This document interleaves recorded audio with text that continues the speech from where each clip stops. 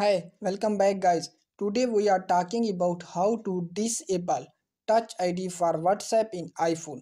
Why would you want to know how to disable Touch ID for WhatsApp in iPhone? Well, maybe it is your first time using WhatsApp in iPhone and not sure how to disable Touch ID for WhatsApp in iPhone. So today I am going to show you how to disable Touch ID for WhatsApp in iPhone.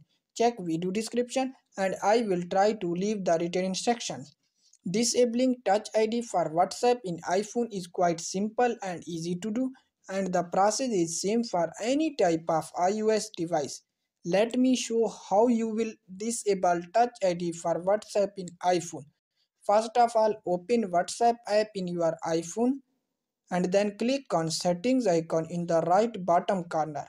Now in this new screen click on privacy and then first scroll down to the bottom of this page and click on screen lock. Now in this screen you can disable touch ID by turn off toggle button and your touch ID on WhatsApp has been disabled.